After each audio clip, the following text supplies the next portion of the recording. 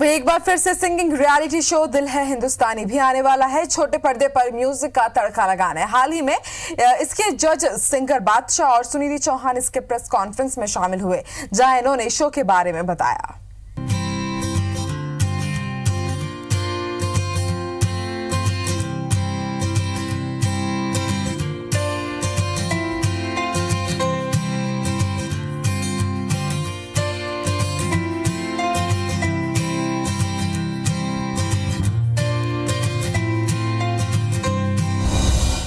It comes to singing और हर reality show में आप देखोगे प्रीतम दा के ही गाने गाए जाते हैं, उन्हीं की कॉम्पोजिशन प्रेफर की जाती है। तो वो दोनों हैं इस शो में।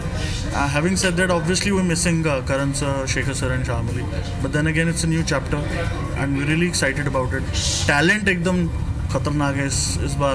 पिछली बार से भी बेटर टैलेंट है। मुझे ये था कि अब टैलेंट कहाँ से लाएँगे? सारा टैलेंट तो ख़त्म हो गया। सारे गोरे ख़त्म हो गए हिंदी गाने गाने वाले।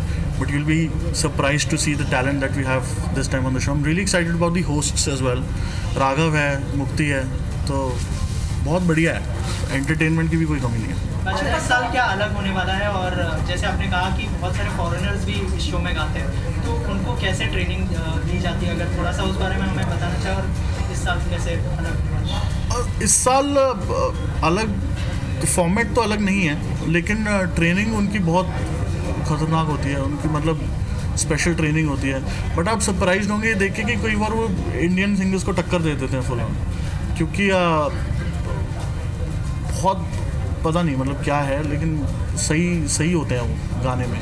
वो शायद इतना प्रेशर नहीं लेते शायद। एक्साइटिंग होता है आ, एक रिलीफ होता है कि चलिए अगर ट्रेलर आया है, उसका उसकी शुरुआत हुई है और लोगों को पसंद आ रहा है तो बहुत अच्छी बात है। I am personally very happy to be associated with Star this is my first time उनके साथ एसोसिएशन पहली बार है और दिल है दिल है हिंदुस्तानी टू से अच्छा प्लेटफॉर्म नहीं हो सकता था। ये एक ऐसा शो है जिसको मैं जो फ़र्स्ट सीज़न था, मैंने देखा भी था। मुझे बहुत अच्छा लगता था ये शो और इसमें, इसकी यूएसपी तो आप सब जानते ही हैं कि people come from across the globe and, and they come and showcase their love for India by singing or playing an instrument or speaking in Hindi. Uh, it's, it's beautiful to see all that talent coming up and uh, you know हम लोगों के लिए एक treat हो जाती है क्योंकि हम एक जगह एक समय पर इतनी सारी जगह पर नहीं जा सकते तो ये सब मिलकर जब सामने होते हैं uh, बहुत मज़ा आता है मुझे तो अभी तक कुछ ही एपिसोड्स हमने शूट किए हैं इट्स रियली बीन फन